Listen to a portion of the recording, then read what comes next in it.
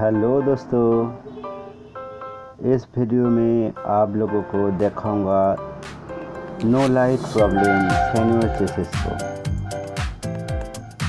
ये जो सैनियर टीवी देख रहा है, इस टीवी लाइट नहीं आ रहा है, लेकिन साउंड ओके है। तो दोस्तों, मैं बैक कवर ओपन कर दिया। उसके बाद जो चारों साइड स्क्रू लगा हुआ है तो मैं पहले निकाल देता हूँ।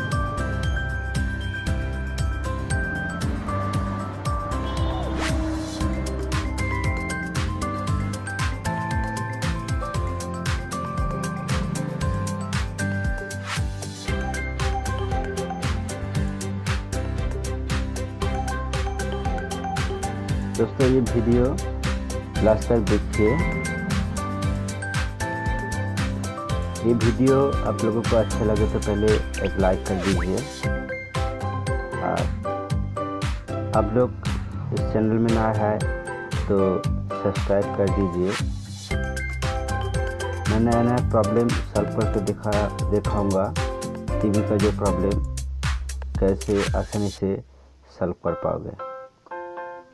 तो दोस्तों, ये सेट का जो प्रॉब्लम लाइफ प्रॉब्लम ये चेक करने के लिए पहले देखना पड़ेगा। ये जो पावर सेक्शन पावर सेक्शन जो ठीक से रेगुलेशन हो रहा है कि नहीं है।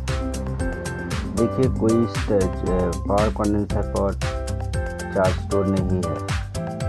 तो मतलब पावर सेक्शन ओके है।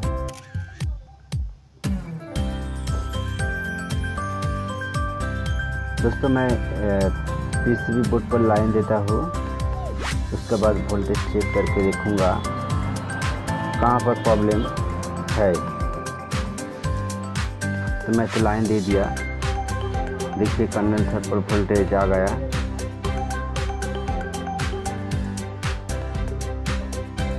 उसके बाद पहले देख, देखना पड़ेगा।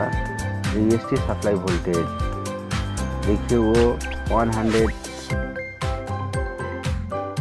फिफ्टीन जो पावर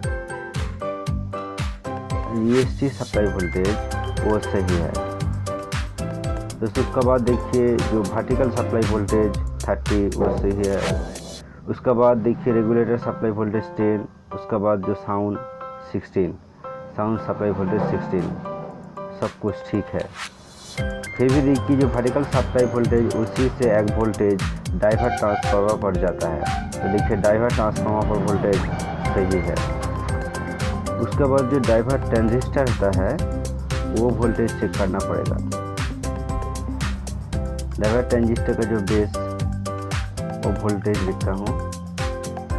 देखिए बे, base volt point three four volt देखा जाता है। तो दोस्तों ये।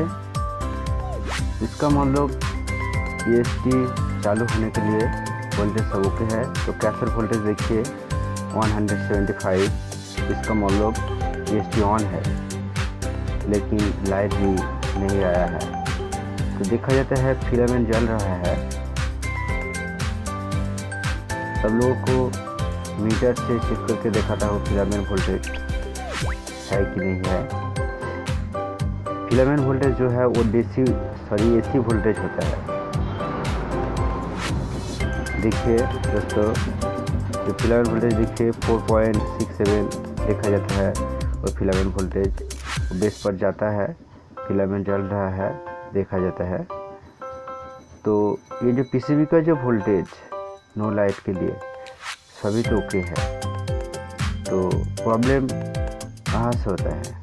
प्रॉब्लम होता है जो बेस बोर्ड है पिक्चर ट्यूब का पिन पर लगा हुआ जो बेस बोर्ड तो बेस बोर्ड का प्रॉब्लम हो सकता है, कोई ना कोई कंपोनेंट खराब हो सकता है और जो बेस है तो बेस भी खराब हो सकता है।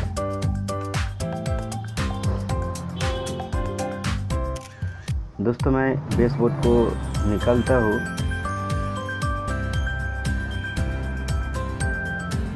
दोस्तों, देखिए, ये बेस है, बेस में बहुत सल्फ़र सल्फ़र दिखा जाता है।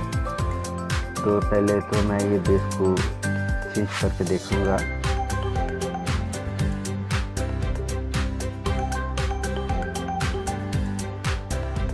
ये बेस प्रॉब्लम हो सकता है। तो ये जो सेम बेस देखा जाता है सोनिक का जो बेस मैं बेस पहले निकाल देता हूँ।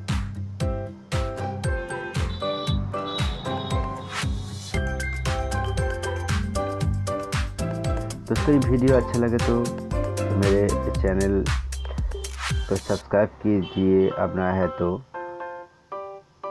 अब पुराना है तो प्लीज़ एक लाइक कर दीजिए।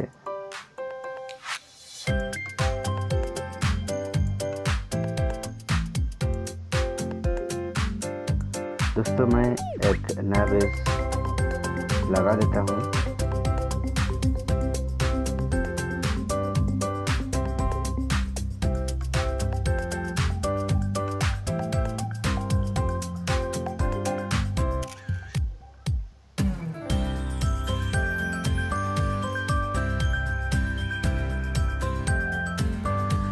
दोस्तों मैं ये बेस तो लगा दिया।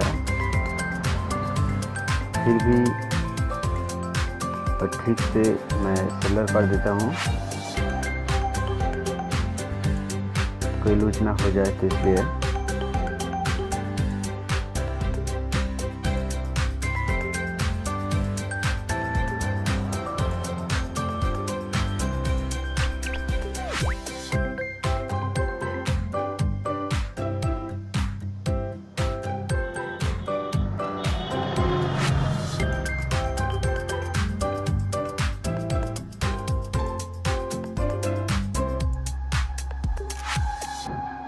दोस्तों मैं नया बेस लगा दिया।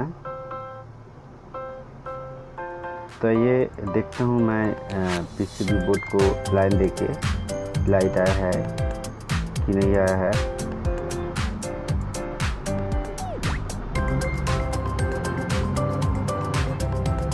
वो थोड़ा सा फास्टिंग देखा जाता है दोस्तों।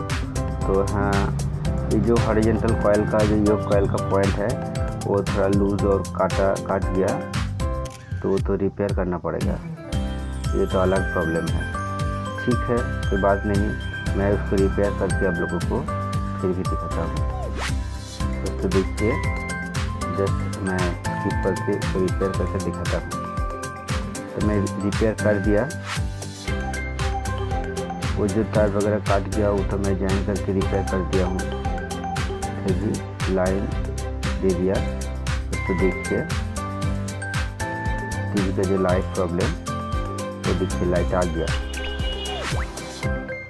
थैंक यू दोस्तों।